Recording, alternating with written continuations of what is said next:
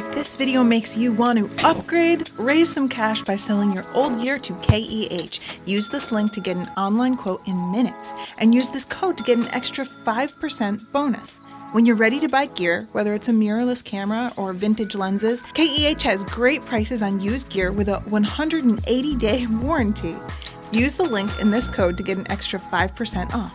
Thanks for sponsoring this video, KEH. Chelsea, you love your D850. You say it's the best DSLR ever made. I love it, it's my favorite. But Nikon has finally made a mirrorless D850, the Z7 Mark II. So you can finally join the 21st century. So, what about it makes it a mirrorless D850? Okay, first of all, we finally have two card slots. Just like Yeah. you got. Yeah, but I've had this for. Okay. I'll give it to you. You don't even remember how old that camera is, do you? How, It- wh- when was that thing released? I think 2017. Yeah. It's got two processors now. They've doubled the processing power, so the autofocus systems are all much, much better. It's got eye detect autofocus, which the first Z7 didn't have. Okay. And it's the same price. You get so much more for $3,000. Well, being the same price does not mean it's the same caliber of camera. Like these have professional controls. Things are lighted when you want them to. She thick, so she feels good in the hand. No, that's not, being fat isn't good. Like, this is so much easier if Not you're going to be walking around. Thick. Thick. And look at my control panel. Like, look at that beautiful little OLED. What do you got there, Miss 1970s Casio watch? 19 se- What, you okay. got the Iron Man watch on your camera over there? this works perfectly well and it's lit from behind. I mean, yours isn't that much greater. That looks like it's from the 90s. Look at these quality dials versus yours. Yours looks like it should be on a disposable camera. On the D850, changing the shutter mode is a dedicated analog dial that you can adjust when the camera is off. Changing the mode and white balance have dedicated buttons that you can hold with your left hand while your right hand adjusts the settings.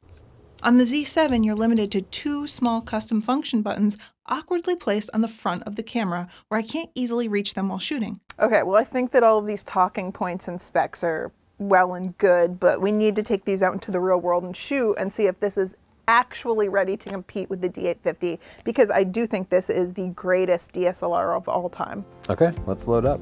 It's the end of the first quarter, and my D850 is ahead, 4 to 1. This seems like an easy win for me, but Tony is eerily confident.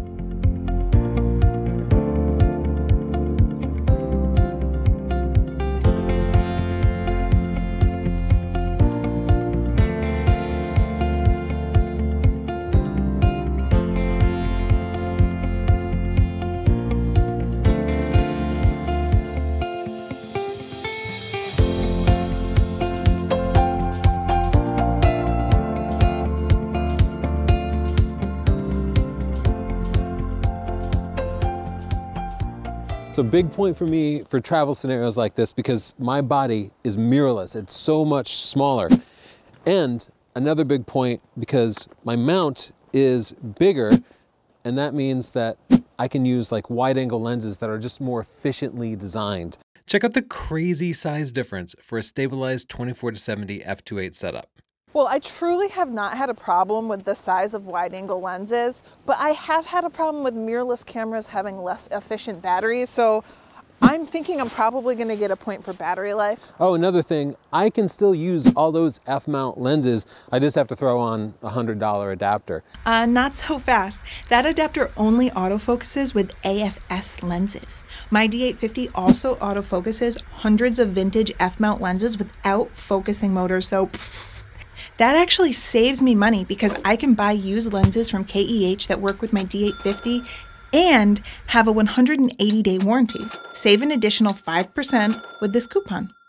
And Nikon finally has the holy trinity of f2.8 zooms available. So they haven't replaced all their DSLR lenses, but they do have the most important ones for mirrorless. And those Z-mount lenses are better than the old f-mount lenses, partly because they take advantage of the wider, shallower lens mount. Check out this clip from our 2019 comparison of the Z-mount 24 to 70 f2.8 to the f-mount equivalent. The Z lens is smaller, lighter, contrastier, sharper, and a third of a stop brighter in T-stops.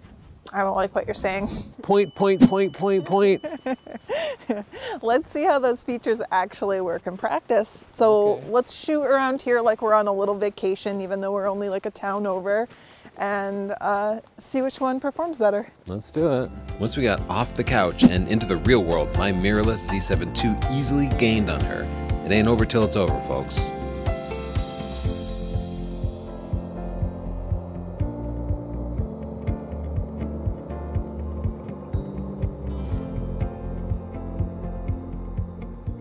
You know, one of the advantages of this should be the sophisticated focusing system because it can focus anywhere in the frame. Yeah. But when you have the all autofocus points mode on, it just focuses on whatever is closest to you. So I'm trying to take a picture of this like gorgeous building, but there's a tree branch in the corner of the frame and that's what it chooses to focus on. And I can't move the thumbstick to change points. I either have to completely change the focusing mode or I have to use the back of the screen and then touch it. And that works okay with a wide angle lens, but you know, I'd like to be able to use the viewfinder and it just, it's difficult to switch between focusing modes. I'm not having problems. With the D850, I can program different back buttons to either all AF points or a single AF point. Oddly, you can't do that with the Z7, so changing focusing modes requires multiple button presses. Tony, I'm not having the same problem as you. It will focus where I want it to, but actually the live view focusing, I forgot about this, is really horrible. Do you see how it takes a while to snap onto anything? With the DSLR, it's like two different cameras. You have this great camera when you're using the viewfinder, and then you have a terrible camera when you're in live view because they haven't updated it. And with me, I have a single system, whether I'm using the viewfinder or the rear screen, and both work flawlessly. It works fine when I'm looking through the viewfinder, but live view is not great, I have to admit. Tony's right about that. Tony's right, Tony's right, Tony's right, Tony's right. I was just changing my aperture and I wondered why it wasn't looking any different through the viewfinder, and it's because I, I don't have EVF. That's right. With mirrorless cameras, what you see is what you get. Point for me, if I shoot at FA, I see the depth of field. I don't have to chimp. I don't have, because every time I take a shot, I already know exactly what the results are going to be. Oh, yeah, shoot and review, shoot and review, just like a DSLR user. Enjoy 1992. We're tied up now, but neither of us will be happy unless this is a solid win. Oh, live view is terrible. Oh, see, as a short person, you need to be able to use that live view, right? You know what? Go like this. Oh, this is what it's like when your photographer uses a DSLR. You have to crouch like this. That's so rude. Here's another point for me. The D850's tilt screen flips down 90 degrees to make overhead shooting easier. The Z7 flips 45 degrees. Wah. I guess that's okay. Okay, wait, I'm gonna put my adapter on and you can put your portrait, portrait lens on this mirrorless body and see what life is like in the future, Chels. I don't want to. Remember with Nikon, it's lefty tighty, righty loosey. Easy to remember. and you can focus in the corners of the frame if you want to. You're not limited by the limited autofocus selection. That's true. Here's a viewfinder recording I made a different day. Look how eye detect works corner to corner. On the D850, the focusing points don't go as far out, so you'd have to crop and post or use imprecise and slow focus recompose techniques. It seems to be working well. And actually, I'm composing the photo better. Because you're not limited by the limited number of focusing points. Yeah. How does it compare to the original Z7? Its eye detect autofocus. It's working way better than the original Z7. So what do you think? If you're a portrait photographer, would you be able to upgrade from the D850 and be happy with this? Yes, I would. But I think that the true test is going to be sports and wildlife. See if they could keep up. Hmm. We don't have to do that test. He's, he's not seeming very confident, so I'm, I'm eager to do that test. Tony has come from behind with just nine minutes on the cock. Should I say you've come from behind? What's another term? Tony is gaining on me with just nine minutes left on the clock, but I have a trick up my sleeve. So I wanted some photos of these cute ducks, uh, but when they heard my shutter, a lot of them turned away from me. Is that a problem for you, Tony? My shutter is a lot quieter, but I also have a totally silent shutter that doesn't make any sound. That's what silent means. But silent shooting is only good for still or slow moving subjects. When I tried to use it while panning to track a flying bird, the rolling shutter effect was absolutely awful. Yeah, so if you want to be discreet, street photography, press photography, events, weddings, mirrorless is definitely the way to go. Though that one just looked up at me because I was making noise, so that might be cute. That's not an advantage, Chelsea.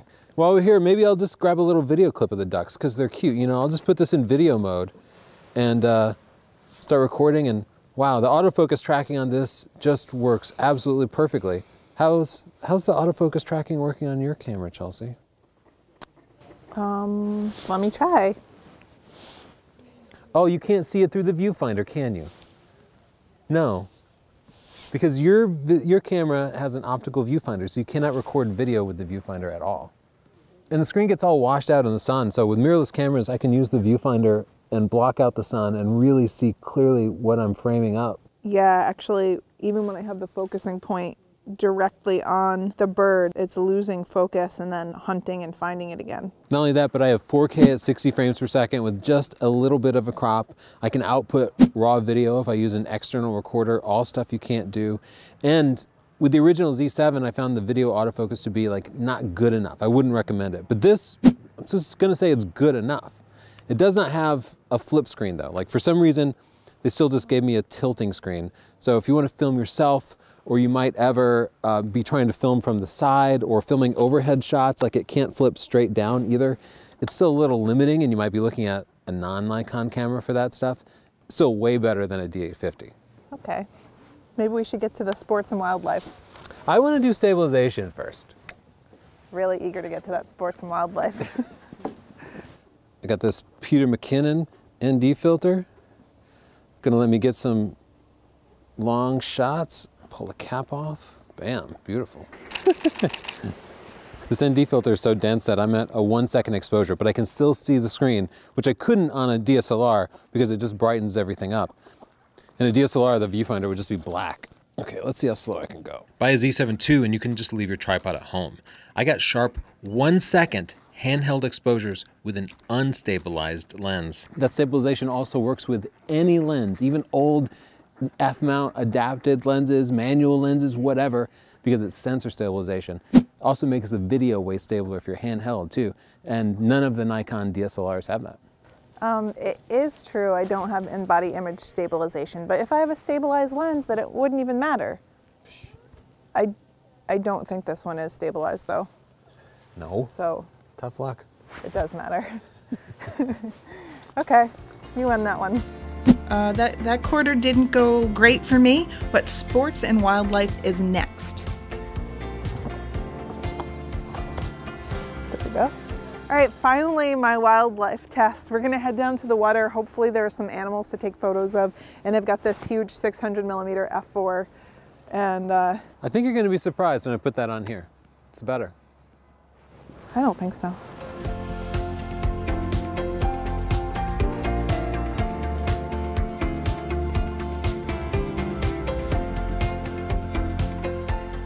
This little body doesn't balance this big old lens very well, but Nikon finally made a vertical grip for this, so you can get that.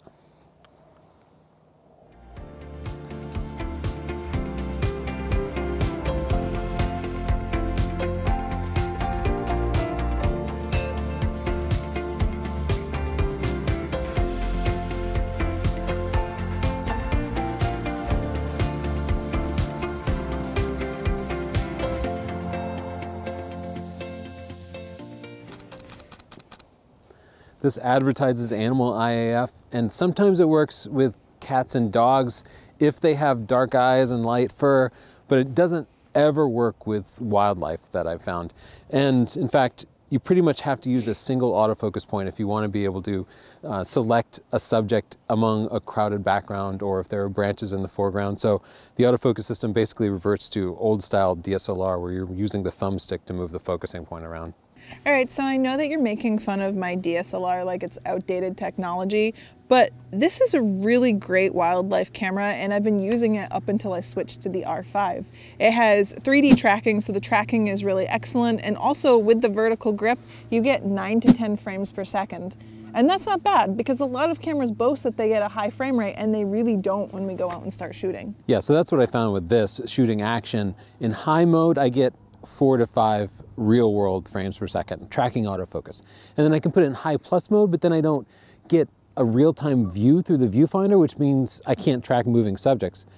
And there's so much viewfinder lag that if I'm shooting even a flying seagull, then the most I can get is about three frames and then I lose track of it because while you're shooting, the lag is crazy. So if I were shooting wildlife, sports, or any kind of action, there's no way I can currently recommend the Z7 Mark II. I would definitely tell people stick with your DSLR for sports and action, just way better. Yeah, and that's not the only mirrorless camera that has that problem. That is the reason I did not switch to mirrorless for wildlife until this year when I switched from this D850 for wildlife to the Canon R5. And it's because that that blackout that you get it, it messes up your tracking. You know, you'll get a shot where you finally get a bird to dive and hit the water to be fishing, and you miss the shot because you can't see what's going on, and you and you're uh, losing your subject in the frame. So that is actually really important in practice. You talked about 3D tracking, and it works great on the D850. You can have a single autofocus point, you put it on your subject, and then wherever it moves, it continues to track it. That's so important for shooting sports where you want to shoot a particular player. Maybe it's your kid, maybe it's your favorite athlete, not the defenders that are surrounding them. This does not have any kind of tracking like that. If you put it in all autofocus points, it will pick the subject for you and then track it as it moves around the frame, but you can't select a specific subject at all. Yeah. And if you do want to use tracking, you have to take your eye away from the viewfinder and then touch the rear screen to select a subject. And then it does a good job tracking it. But you can't be shooting telephoto with the rear screen. It's just too hard. Like you really need to be using the EVF. They could fix this with a software update, but we've been complaining about this for a couple of years and they haven't done it yet. Complain harder. Okay, I think we're ready to tally up the score and uh, declare a winner. I won, but mostly because of the video features. I won. If you're a stills only shooter, the D850 might be the better choice. The DSLR definitely better for sports in action. Yeah. For travel photography, portraits, they both work well. But this is smaller and the eye detect makes portraits work a little bit better. That's true. I don't think this will keep you from getting great photos when you're traveling, but that will is a little bit lighter. But this doesn't feel nearly as good in the hands. No way. This has better grip, better buttons and dials, lighted buttons, like it's a proper pro body, whereas this still feels like kind of a lightweight consumer body. But if you're shooting any kind of video, and you're not going to be in front of the camera, you're behind the camera, yeah. this is superior in every way to the D850. I'll give you that. It's way better at video, and the live view on this is appalling. Nikon has come a long way. So if you are considering upgrading to mirrorless, now might finally be the time. You can also win a free Z7 Mark II. We'll literally buy it for you and give it to you at oh, winthiscamera.com. Or you can have a Sony a7R4 or a Canon R5. A uh, final thank you to our sponsor, KEH, for making this possible. Sell your old cameras, lenses, tripods, and more to KEH at this link and use this code to get an extra 5%. You can also save money by buying from KEH at this link and getting a 180 day warranty. This code will give you a 5% discount. Thanks for sponsoring this video, KEH. Did you say subscribe? Subscribe. Give us a like and subscribe. Bye, guys.